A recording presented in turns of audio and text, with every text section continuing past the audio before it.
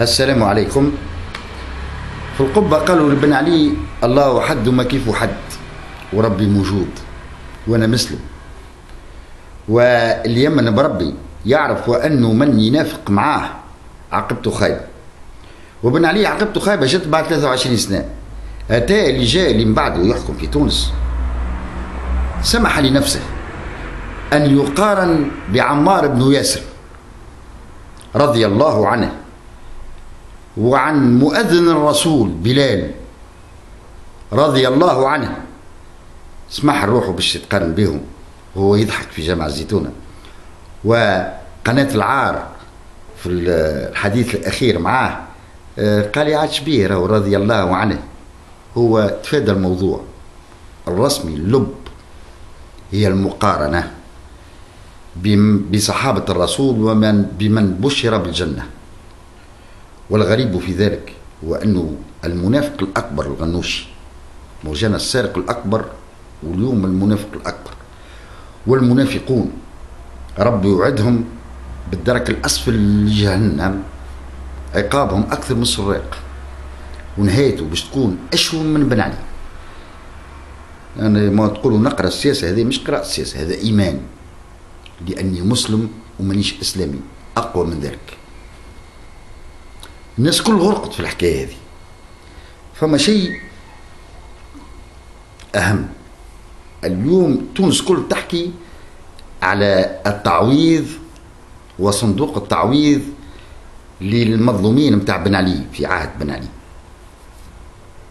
التعويض مسموح ومرغوب فيه ولكن أي تعويض؟ إذا كان باش تولي الناس اللي حبت تقنبل الوتلة وضربت وجوه العباد بالمفرق واللي ضربوا وقتلوا أعوان من الأمن في عمليات إرهابية باش يصيروا هما الضحايا. هذيك هي المشكلة.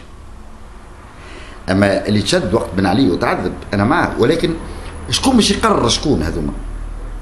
ونحبكم تفهموا الفلسفة متاع النهضة شنية. الأصوليين كلهم. معناتها الإسلاميين في العالم شو يعتبروا يعتبروا الشعوب العربية شعوب جاهلة.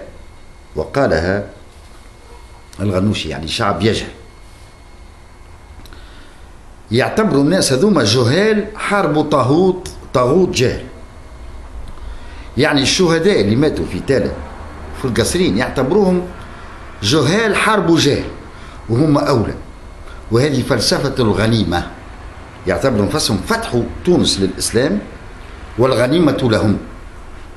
أول ما يتعوض هم ومن بعد يجيوا الشهداء. هذا نحن نعرفه واللي يزيد يوري معناتها قمة النفاق عند الناس هذو.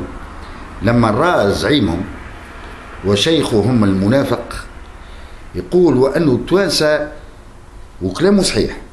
مش من العار وأنه يشتغل وأنه عنده دبلومات ولكن لما رأى وأنه وزير باش يكون وزير لازم يكون ترازيم على سكوندير واللي عنده bac plus quatre لازم يجمع الزيتون لازمكم تفهموا النهضة لوين ماشية ولوين عطينا تونس. هذا إيش حبيت نقوله لشيء يطرح نفسه زاد بطبعه الأسبوع هذا هي حكاية الهيئة العليا للانتخابات. أنا من قبل. قلت وأن الجندوبي دمية والإسلاميين ديما يستعملوا اليساريين. عرفتك ال gauchisants gauchistes اللي يدينوا ال gauche يستعملوهم باش يوصلوا إلى الحكم. ومن بعد ما يوصلوا للحكم يغسلوا بهم يديهم ويبعدوهم هذا باش يجرى الجندوبي. ويحبوا يسميوا هيئة عليا هما يختاروها. هذا علاش؟ لأنهم فهموا وأنه الشعب التونسي ما يمشي معاه كان système بن علي. السراق نتاع بن علي تسامحوا وربي يستر لا ياخذوا التعويض قبل الشهداء. الدرجة الأولى الإسلاميين ومن بعد يجيب بالحسن الطرابلسي وجماعته وأخوة ليلى وسراق بن علي يعوضوا حتى عبد الوهاب بن عبد الله وعبد العزيز بن ذيا يزمهم يعوضوا لهم لليوم ما لهم شيء. في الدرجة الثالثة الشعب التونسي الرماد. هذا اللي لازمنا نفهموه.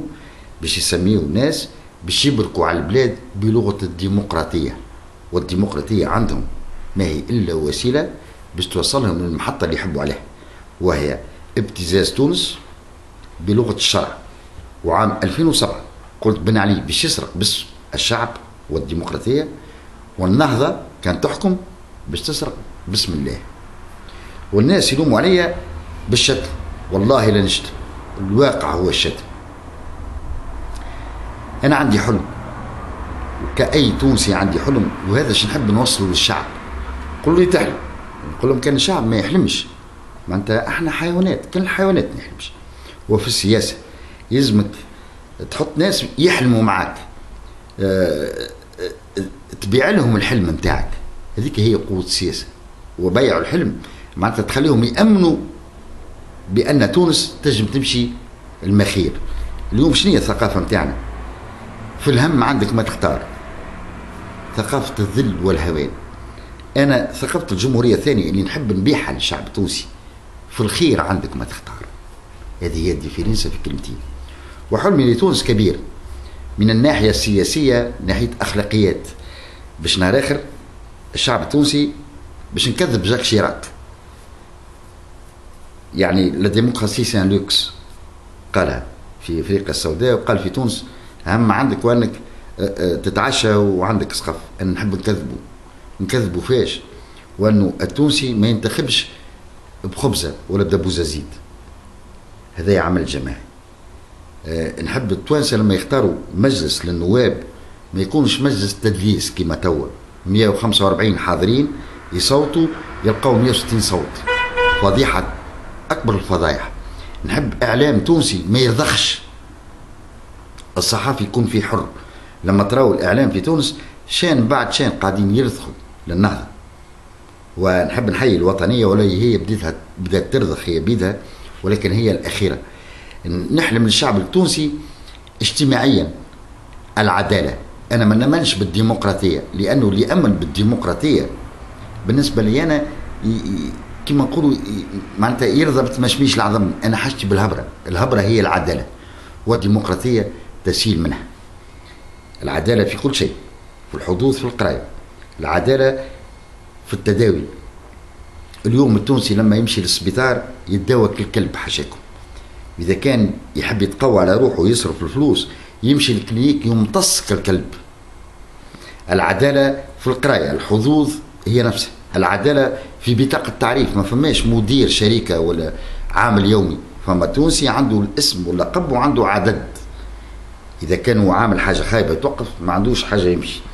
العدالة في الحظوظ والتساوي في الحظوظ في الأعمال.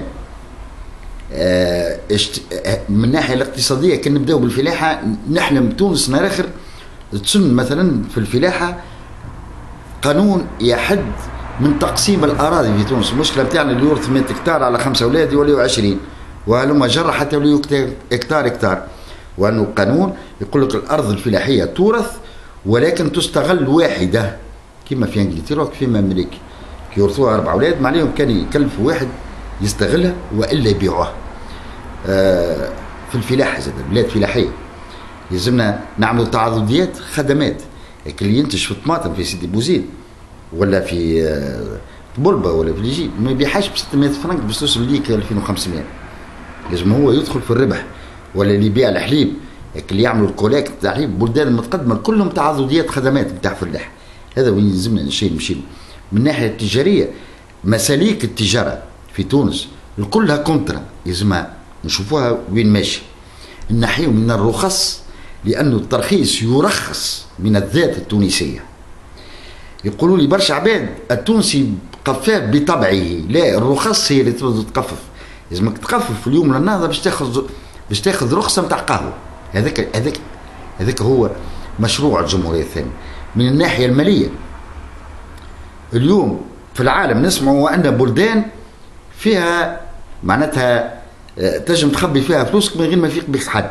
اليوم في تونس ما تستحقش بس عندنا السرية نتاع الأموال والحسابات البنكية في تونس. يعني عندنا لزيل كايمان في تونس وما بينهم. السارق يحط فلوسه غادي قانونيا ما عندكش الحق تتكلم الشفافية الشفافية فاش تكون في قدرة التونسي بالقوانين التي تسن على التطلع على المعلومة. لما راه ولده وزير يتبكى ويتشكى يقول لك ما عنديش باش نبني دار وولده يعمل في شان تاع تلفزه لازمك تفهم منين جاب الفلوس عندك الحق. هذا شو نتمناه لتونس آه مش الشكل نتمنى الخير لتونس ونتمنى ثقافة جديدة لتونس. ثقافة في الأحسن عندك ما تختار. نتمنى لتونس ما عادش الناس تحب تحرق. شباب يحب يشتغل هنا ويحقق أحلامه. نتمنى وأنه شباب تتنحى الدمغة من مخه. مش الدولة تعطيني خدمة أنت تخلق الخدمة وتجبر الدولة باش تخدمك.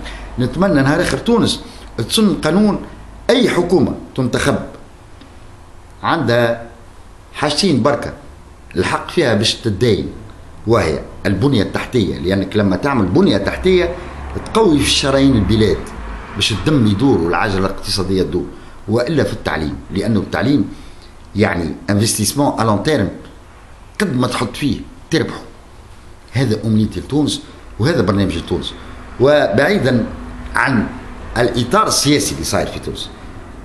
كل يوم أربعاء سأخصص محور. لمستقبل تونس بعيدا عن السلك الحالي اللي صاير في البلاد بعيدا عن الأسماء بعيدا كل البعد وهو سيكون تونس الغد حلمنا لأولادنا الحلم هذايا اللي في عمري أنا فيه. ونقول شباب تونس ما كنتش تمتعوا به 100% حالتكم باش تتحسن خير. أما لأولادكم لكن اللي تولد اليوم هذيك هي الجمهورية الثانية. والسلام عليكم ورحمة الله وبركاته.